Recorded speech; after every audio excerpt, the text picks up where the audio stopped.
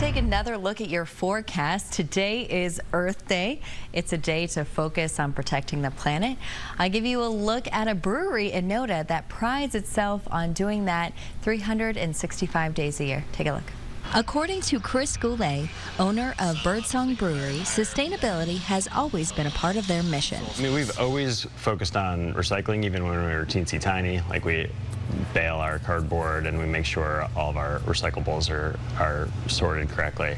Um, but the the big thing that we were able to do in 2018 was put in a solar array on our roof. Goulet says during the warmest part of the day, normally between 10 a.m. and 4 p.m., the field panels can generate 270 kilowatts, enough to power the entire building. He says the panels not only cut their electricity bill, but they also help with another vital resource. Most electricity in Mecklenburg County is actually nuclear, and that uses a very large amount of water uh, which gets vaporized. And so we actually essentially save water indirectly.